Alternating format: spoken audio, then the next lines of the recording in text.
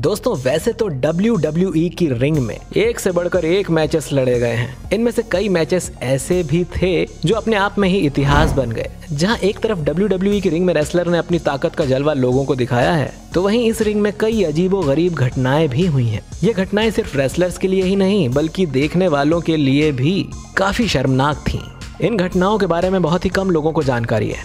WWE की ring में घटी उन शर्मनाक घटनाओं में से पाँच सबसे शर्मनाक घटनाओं की जानकारी हम आज के इस वीडियो में आपके लिए लाए हैं। ये घटनाएँ जानबूझकर की गई थी या फिर ये महज एक हादसा था? इसके बारे में कोई नहीं जानता। और इस वीडियो को देखने के बाद आप अपना पेट पकड़कर हंसने वाले हैं। और साथ ही साथ आपको बहुत ज़ोर का झटका भी लगेगा। तो चलिए इस वीडियो को करते हैं शुरू।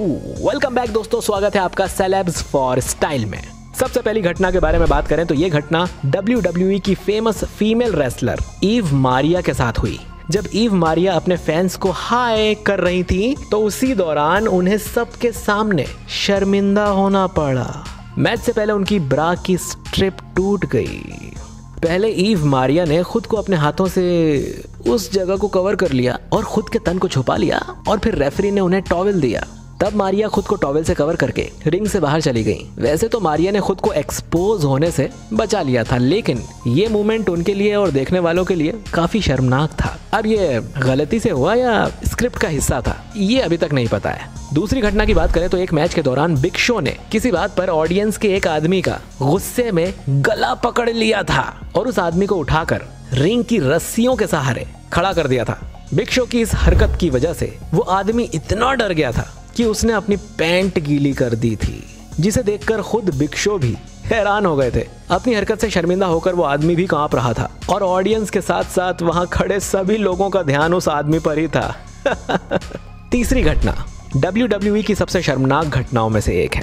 रिंग में जब एक बार दो महिला रेसलर एक दूसरे के साथ फाइट कर रही थी, तब फाइट के दौरान एक महिला रेसलर ने अपने ओपोनेंट रेसलर की पैंट खोल दी। जिसकी वजह से उस महिला रेसलर का अंडरवियर साफ़ साफ़ दिखाई दे रहा था।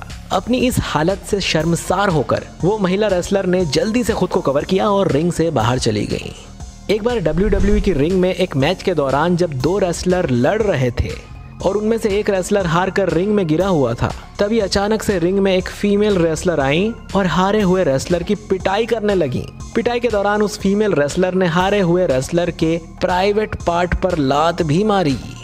एक और वाक्य हुआ जब डब्ल्यू डब्ल्यू की रिंग में वुमेन रेसलिंग मैच के दौरान जब दो फीमेल रेसलर्स आपस में लड़ रही थीं, तब उस लड़ाई में रेसलर्स अपने रेसलिंग मूव्स दिखाने की जगह एक दूसरे के कपड़े फाड़ने लगी। ये घटना देखने वालों के लिए काफ़ी शर्मनाक थी। तो दोस्तों, ये थी डब्ल्यू डब्ल्यू की रिंग में हुई कुछ घटनाएँ, जो कभी कभी थोड़ी सी फनी थी और कभी कभी बहुत ही ज़्यादा शर्मनाक थी। और इन घटनाओं को देखने के बाद आप भी शॉक्ड हो गए होंगे। वीडियो अच्छा लगा है तो जल्दी से लाइक, कमेंट, शेयर कर डालिए। मिलते हैं आपसे अगले वीडियो में। तब तक बने रहिए आप और प्यार देते रहिए सेलेब्स फॉर स्टाइल को। शुक्रिया।